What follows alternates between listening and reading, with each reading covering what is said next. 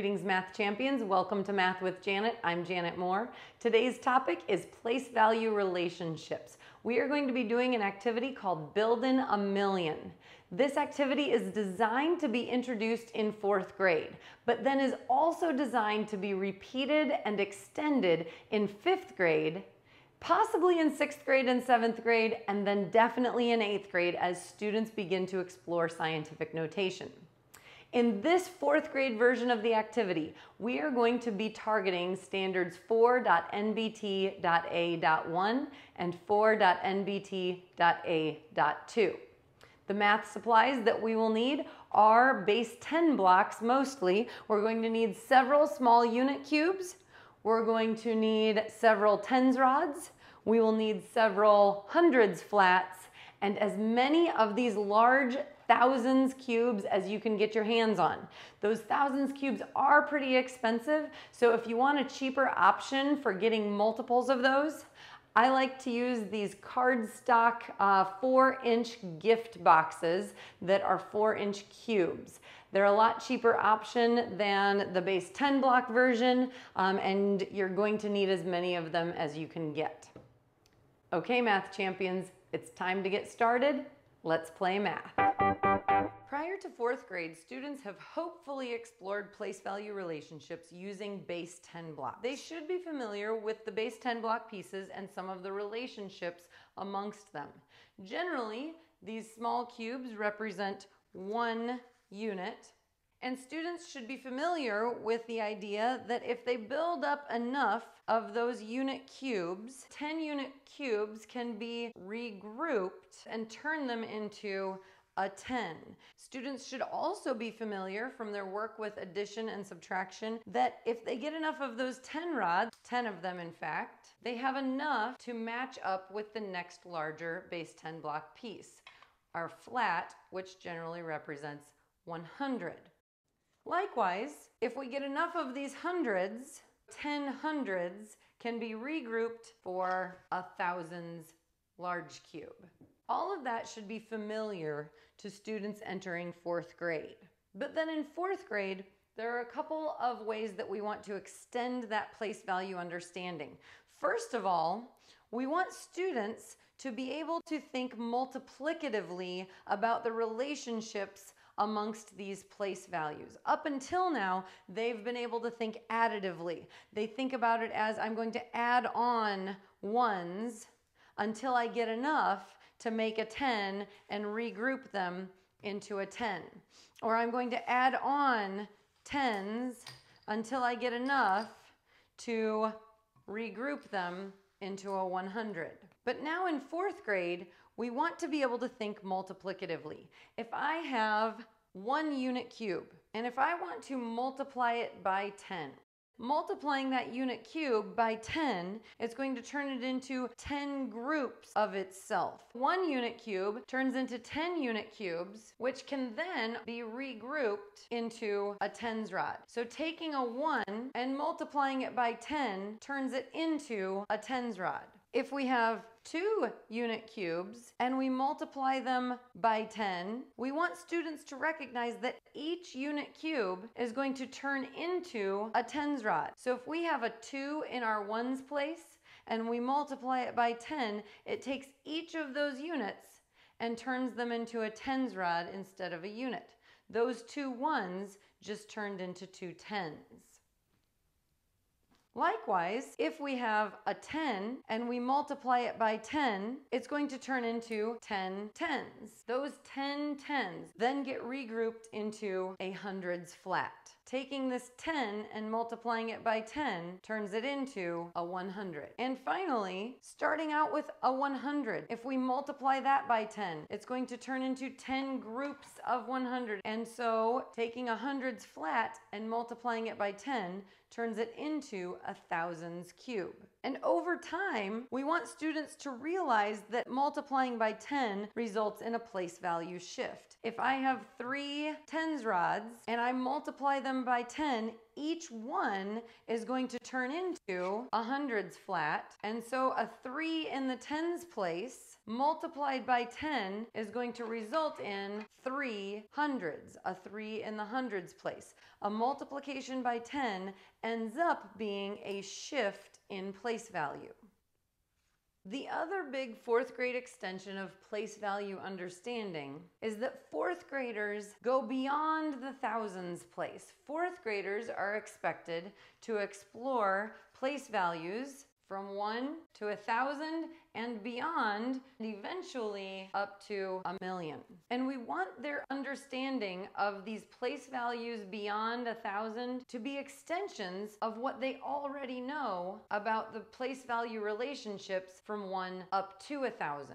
So before we extend beyond a thousand, we really want to spend a little extra time looking at the relationships in the place values from one up to a thousand. Because in this activity, we want to use that understanding to eventually ask the big question, how can we build a million? So we've already established that at any of these place values, multiplying by 10 will result in a shift from one place value to the next. That's going to be key as we try to extend beyond the thousands place values. We're going to use multiplication by 10 to move from one place value to the next larger place value. If we were to start at the thousands place, we should be able to multiply by 10 to get to the ten thousands place. From the ten thousands place, we should be able to multiply by 10 to get to the hundred thousands place. Finally, we should be able to multiply by 10 to get to the millions place. We have to work our way from the ones place all the way up through all of these other places in order to get to a million. And multiplying by 10 to shift from one place value to the next is going to be key. The other thing that's going to be key though is looking for other relationships, other patterns in these base 10 blocks that we've been working with. What we want to do is identify a pattern in these base 10 blocks so that we can extend that pattern to build the other place values that will get us to a million. Specifically, what do you notice about that base 10 block piece that represents the one and that base 10 block piece that represents the thousand? What do they have in common? And the answer is they are both cubes. To get from the 1 to the 1000, first we took that one and we built it up as a tower to make that rod. Then we took that rod and built it across to make a wall for that flat. And then we took that wall and we built it back in order to form this larger cube that is a 1000. So these base 10 block pieces start as a cube, then grow up to a tower rod, then grow across to a wall flat, then grow to a depth that will make them a cube again. Once we get to the thousands place, it's like we're back where we started, just a larger version of what we started with. And making that observation is incredibly helpful because now we know that if we want to go from the thousands to the ten thousands, we already know that it's going to require a multiplication by 10. But that observation that we made about the ones place and the thousands place can help us visualize what that multiplication by 10 is going to result in. What is it going to look like? How could we build it? Since we're starting at a larger version of our initial starting point, we can just go through that process all over again. When we had a small cube and we multiplied it by 10, we stacked it up to form this tall tower rod. Now that we have a large cube, we're going to do the same thing. We're going to stack 10 of these large cubes to form one large rod. And that large rod is going to represent our 10,000s place. But before we continue, I think we're going to need some more room. Now we've got some extra space. Notice we've got our ones place over here represented by that small unit cube. We've got our tens place here represented by the tens rod. We've got our hundreds place here represented by our hundreds flat. And we've got our thousands place represented by our larger thousands cube. And yet we've got room now to grow to our ten thousands place, our hundreds thousands place, our hundred thousands place, and then eventually our millions place. Remember that each place value shift is a multiplication by 10. So to go from the ones place to the tens place, we multiply by 10. Then we multiply that by 10 to shift to the hundreds. Multiply that by 10 to shift to the thousands. The ones and the thousands are both cubes, just larger versions of that cube. So if we want to move from the thousands place to the ten thousands place, we're going to multiply by 10. And we're going to repeat the geometric pattern that we've seen already going from the ones to the thousands place. Since this thousands place is represented by a large cube, we're going to take that large cube, multiply it by 10. We're going to need 10 of those to represent our 10 thousands. And how can we arrange those 10 cubes? The same way that we arranged the 10 small cubes to go from the ones place to the tens place. We're going to stack them up and make a larger version of the rod. This is where it's helpful to have lots and lots of these thousands large cubes. But these are very expensive and they're a little bit hard to come by you. They don't give you very many in your base 10 block set. So what I've found as a replacement are four inch cube gift boxes. And I happen to have several of those so that we can let each of those represent a 1000.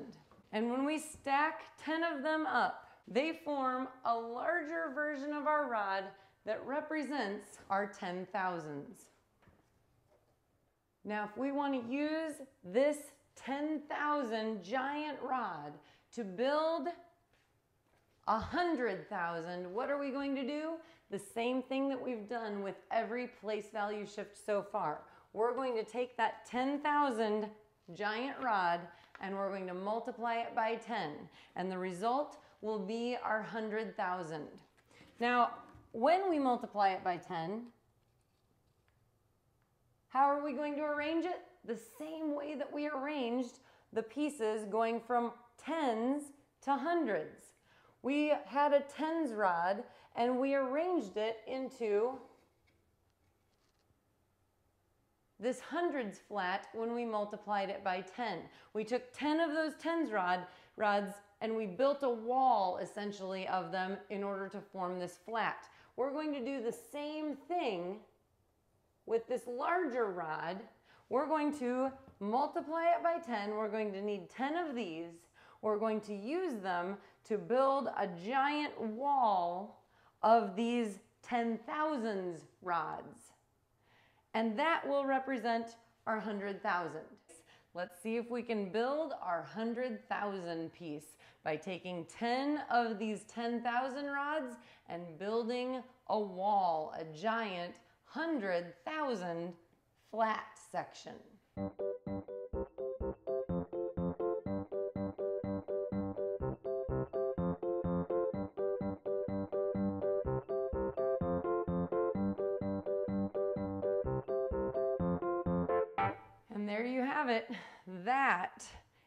What hundred thousand looks like. 100,000 of these little tiny unit cubes would fill up a wall that big. But we aren't done because our goal is to build a million. And in order to build a million, we have to take this 100,000 wall and we have to multiply it by 10. And when we multiply it by 10, we're going to arrange the pieces the same way that we did when we went from the hundreds flat to the thousands cube. We're going to take those 10 hundred thousand walls and stack them one in front of another until they form a giant 1 million cube. So it turns out a million is a pretty big number. When we multiplied 100,000 by 10 in order to create our million, when we took those 100,000 flats and we stacked them one behind another to create a much larger cube, that is our millions cube. But it doesn't even fit on our screen, at least not with all of our other place values. So if this small unit cube from a regular base 10 block set is our one, then this giant cube over here is our 1 million.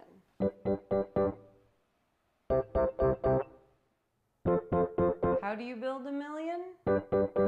One place value shift at a time. One multiplication by 10 at a time. So how might an activity like this help fourth grade students in their understanding of base 10 place value? Well, first of all, this activity reinforces the multiplicative relationships between those place values. But not only that, this helps students really visualize the meanings of numbers so that they can more easily do things like write numbers in expanded form. For example, if students are given the number 341,728, how can they think about writing that in expanded form? Well, they can examine each of these place values. The three in the hundred thousands place means that they need three of those hundred thousand giant flats. Plus that four in the ten thousands place means that they need four of those 10,000 giant rods. The one in the 1,000s place means that they only need one of these 1,000 cubes. The seven in the hundreds place means that they need seven of the regular hundreds flats. The two in the tens place means that they need two of the regular old tens rods. And the eight in the ones place means that they need eight of these little unit cubes. Being able to visualize the numbers helps students understand the meanings of those numbers and helps them be able to work with the numbers more efficiently, more effectively, and more confidently.